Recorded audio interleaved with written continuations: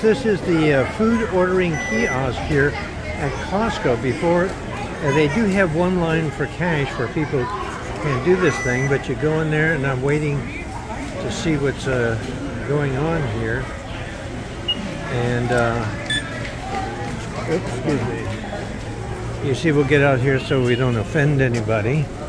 But they say they've got these uh, kiosks for ordering things, and it's so cool. It's got graphics and everything.